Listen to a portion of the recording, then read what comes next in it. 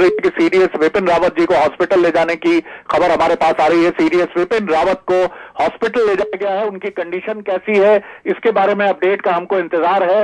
और प्रधानमंत्री नरेंद्र मोदी को कैबिनेट बैठक में इस अपडेट दिया गया है पूरा। जो रक्षा मंत्री है, राजनाथ सिंह जी ने पूरा अपडेट दिया है प्राइम मिनिस्टर को, क्योंकि दिल्ली में कैबिनेट की बैठक है, केंद्रीय कैबिनेट की मंत्रिमंडल की। सबसे बड़ी खबर इस वक्त जो मिल रही है, वो हमको ये मिल रही है कि सीडीएस विपिन रावत को हॉस्पिटल ले जाया गया है।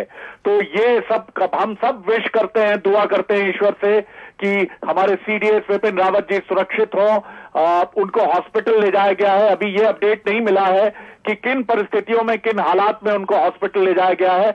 लेकिन इस वक्त की सबसे बड़ी खबर यही है कि जया की सीडीएस को हॉस्पिटल ले जाया गया है। प्राइम मिनिस्टर नरेंद्र मोदी को पल पल के घटनाक्रम की जानकारी दी जा रही है। दिल्ली में केंद्रीय कैबिनेट की बैठक चल रही है। और उसी बैठक में ये जानकारी केंद्रीय रक्षा मंत्री राजनाथ सिंह जी ने दी है।